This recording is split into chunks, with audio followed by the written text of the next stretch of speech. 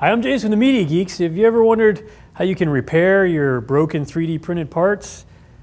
Well, I'm going to show you how in today's One Minute Wonder.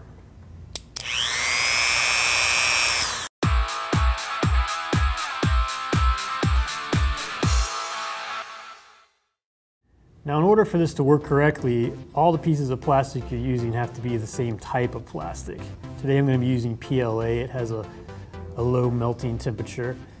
I'm going to cut off about 30 millimeters of filament here and insert it into my Dremel tool. This is just scrap filament. Everybody has some of this laying around. You want to get it as straight as possible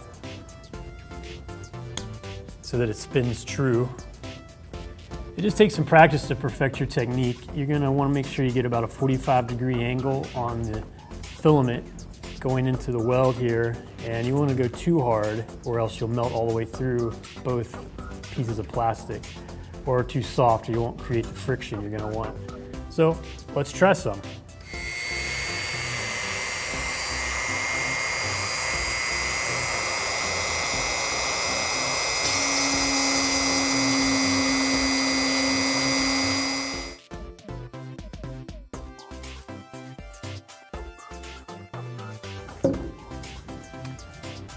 So what I've done here is I've actually fused the filament in the Dremel tool with the two pieces of plastic on either side. It creates a pretty strong weld. You can sand that down, clean it up, make it real nice.